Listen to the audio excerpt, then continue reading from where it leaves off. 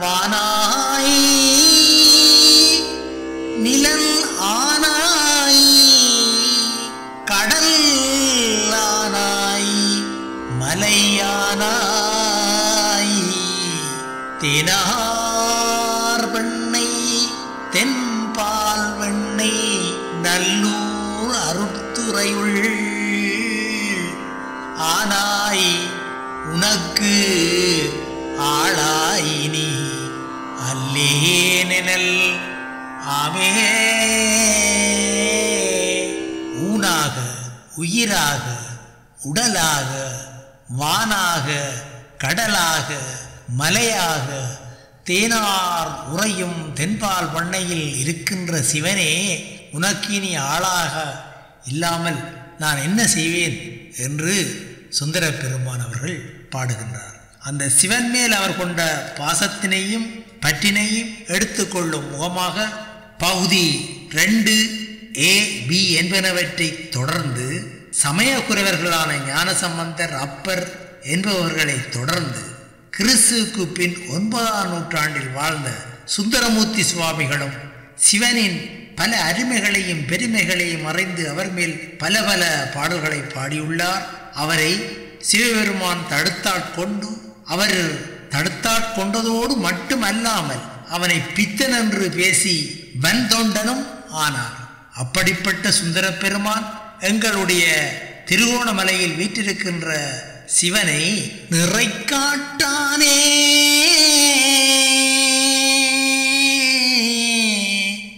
நெஞ்சத்தானே. நின்றியூரானே. முறைக்காட்டானே. புனல் சேர் சடையாய். அனல் சேர் கையானே. மறைக்காட்டானே. திருமாந்துறையாய் மாகோணத்தானே. திருமாந்துறையாய் மாகோணத்தானே. இறைக்காட்டானே. எங்கட்கு உன்னை அம்மான் அம்மானே. என்று அந்த திருகோணமலையில் இருக்கின்ற எம்பெருமானை பற்றி சுந்தரமூர்த்தி சுவாமிகள் பாடியிருக்கின்றார். அதாவது நீரை உடையவனும் நெருப்பை உடையவனும் திருமாந்துறை என்னும் இடத்திலே விற்றிருக்கின்றவனாகிய இறைவா உன்னை எங்களுக்கு காட்டு என்றெல்லாம் கேட்டிருக்கின்றார்.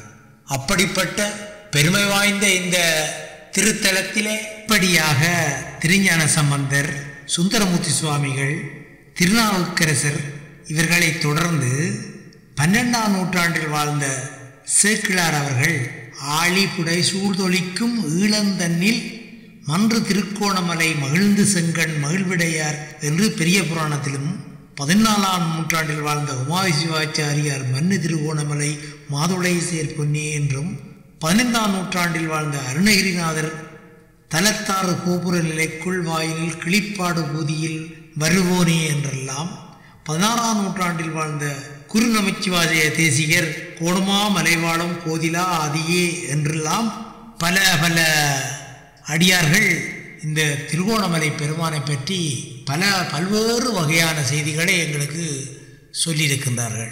இவர்கள் எல்லாரும் சொல்லுவதாக இருந்தால் அவ்வளவு தூரத்துக்கு அந்த சிவபெருமான் சக்தி வாய்ந்தவராக இருந்திருக்க வேண்டும். அதனால்தான் அவரை பற்றி எல்லோரும் சொல்லியிருக்கின்றார்கள்.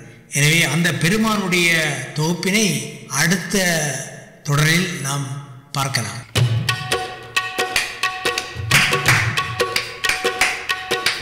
தந்தனை மதிசூடி தருநீர் தங்கை தனையே தன்னை தாங்கி தன்னை மதிசூடி தன் தன்னை மதிசூடி தரு நீர் கங்கை தன்னையே தன்னை தாங்கி எண்ணும் அடியார்க்கு எண்ணும் அடியார்க்கு எழு கோணேஸ்வர மாமலை நாதா என்னும் அடியார்க்கு. என்னும் அடியார்க்கு எழில் காட்டும் எங்கள் கோணேஸ் மாமலை நனை நாதா. பொன்னை போல் மேனி கொண்டவனே.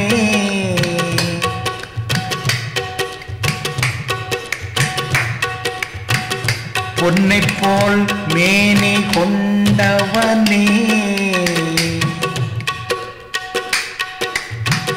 பொழில் நிறை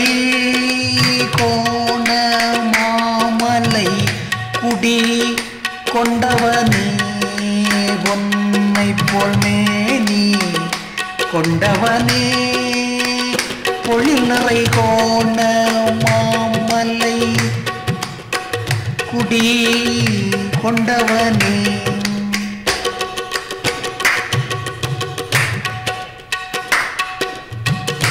விண்ணுயர் கேட்கும் விதைகடல் குதை கேட்டு விண்ணுயர் கேட்கும் விதைகடல் குதை கேட்டு விண்ணுயர கேட்கும் விதைகடல் குதை கேட்டு கண்ணுறை மனம் கொண்ட மாதுளை அம்பாளையும் பக்கம் திருத்தி. கண்ணுரை மனம் கொண்ட மாதுளை அம்பாளையும் பக்கம் இருத்தி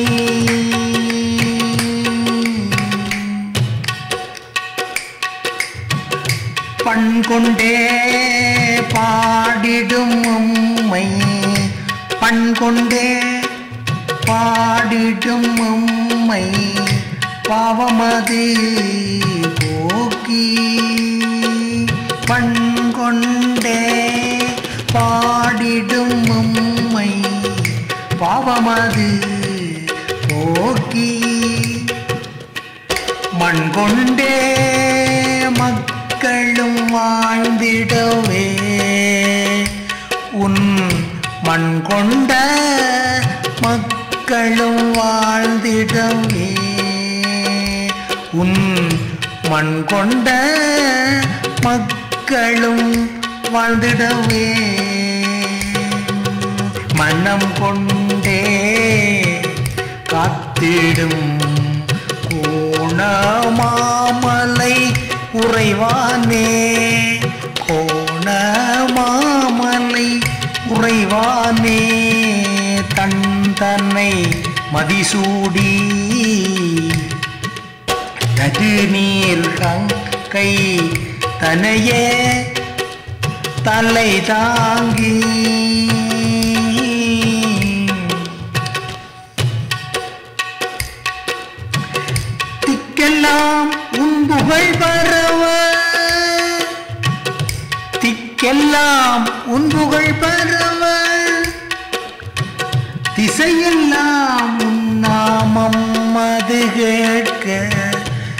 எல்லாம் உன் புகழ் பரவ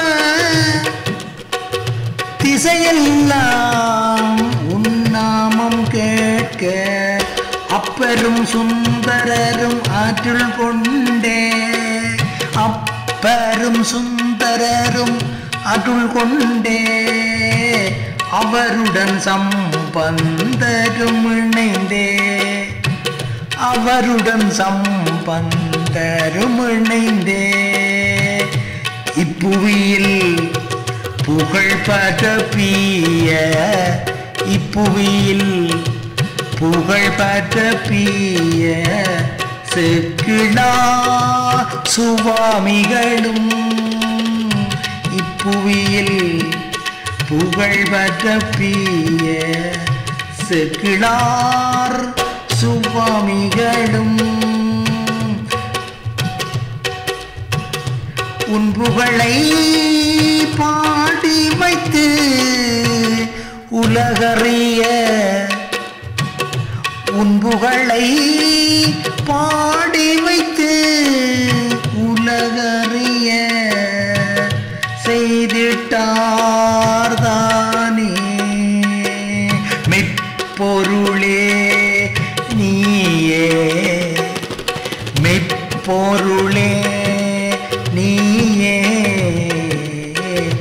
மேன்மை காட்டிடுவாய்